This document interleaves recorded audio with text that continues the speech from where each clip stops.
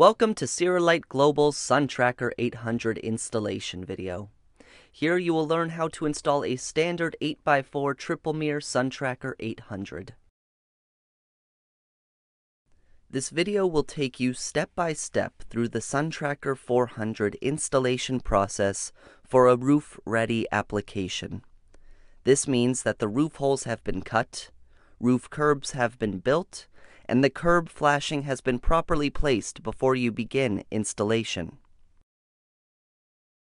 First, we will assemble the SunTracker 800 light well. First, remove the protective film from each light well panel's reflective side. Then run single-sided insulating foam tape from top to bottom along both inside edges of the four corner braces.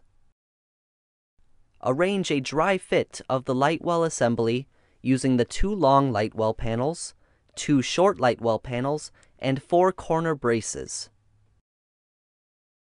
Make sure the outward flange is at the top and the inward flange is at the bottom.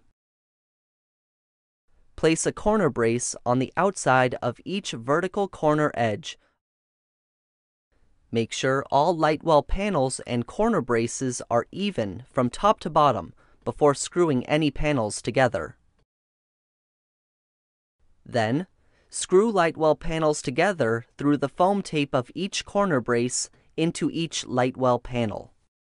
Place a screw within 2 inches of the top and the bottom, then one screw every 8 inches in between.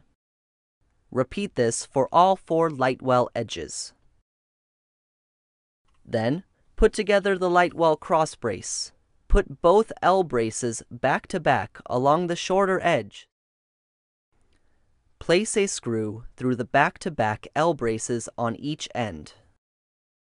Place the cross brace exactly in the middle of the 8-foot light well with the flat edges flush on the bottom inner flanges. Apply silicone sealant to all eight sides of the bottom inner flange of the assembled light well. Then gently lower one bottom diffuser lens down into the bottom of each side of the light well and press the edges of the diffuser lens into the sealant. Each light well will have two bottom diffuser lenses. With the bottom diffuser lenses secure, lift the assembled light well over the curb and gently slide it down into the building interior. The top outward facing flanges of the light well should sit flush upon the top of the curb all the way around. Also, make sure to nail down the top flange of the light well to the top of the curb to ensure it stays in place after installation. Apply foam tape to the perimeter of the top of the light well on all four top outward facing flanges with the adhesive side down.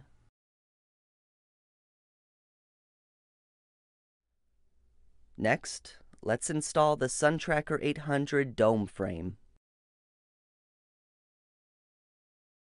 Place the dome frame down upon the curb. Make sure the dome frame sits level on the curb before moving on. Screw the dome frame to the curb using the prefabricated holes on each of the four sides of the frame as guides.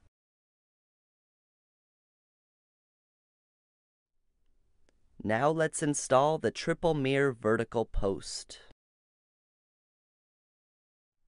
Proper installation of the post is one of the most critical parts of the Sun Tracker installation.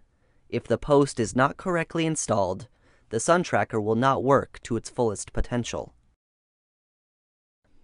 On the Sun Tracker 800, the bolt and two nuts come pre-assembled from the factory on the dome frame crossbar.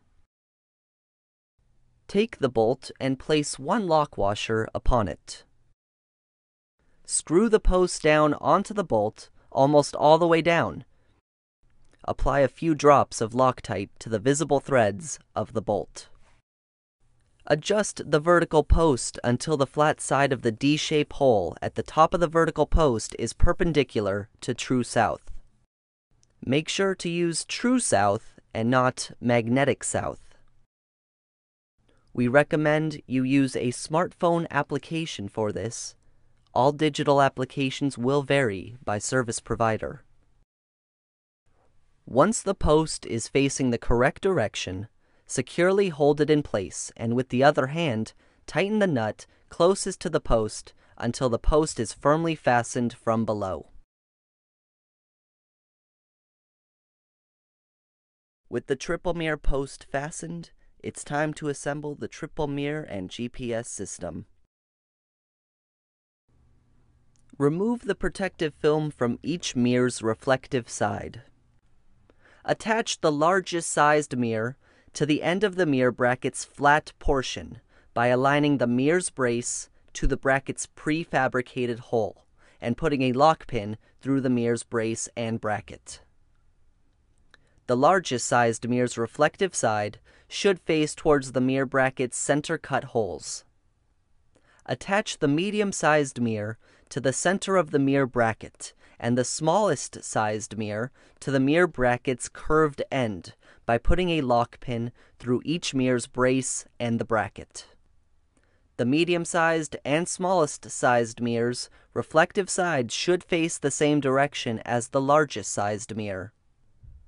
Take the GPS controller and slide its three posts through the top of the mirror bracket's center three prefabricated holes.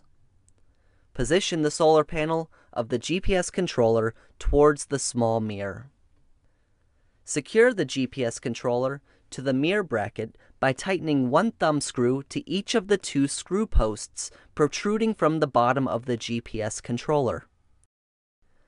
Take the entire triple mirror array and slide the D-shaped GPS post inside the D-shaped hole at the top of the vertical post. With the triple mirror array, make sure to slide the post through the hole in the middle-sized mirror before placing the array upon the post. And finally, it's time for the dome.